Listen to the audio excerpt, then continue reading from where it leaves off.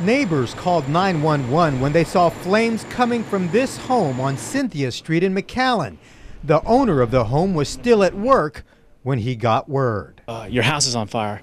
Uh, so I, uh, all I thought was a Sparky, you know, a little dog, and so uh, I, have never driven, you know, that fast in my life. Uh, I think I even I think I even passed up a, a, police officer, and I know I probably shouldn't have done that, but uh, you know, all I could think about was my dog, and, and, and I got here, and the fir- I guess the first thing they told me was that your dog's all right.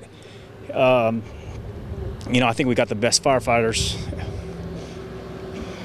You know, it's, it's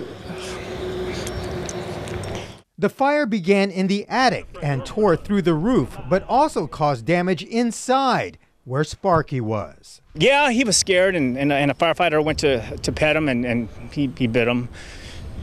Uh, but he understood, you know, that uh, that he was scared. But uh, he's he's Sparky's fine. I mean, he's good. He's he's uh, he was in the room where the fire broke out. This is where the fire broke out in the attic. Now, this down here, this is the master bathroom where Sparky was. In fact, right down here is his dish bowl. He was here all alone with the door closed until firefighters arrived. You know, people might say it's just a dog, but they're members of the family. It's amazing how you don't think about the material things.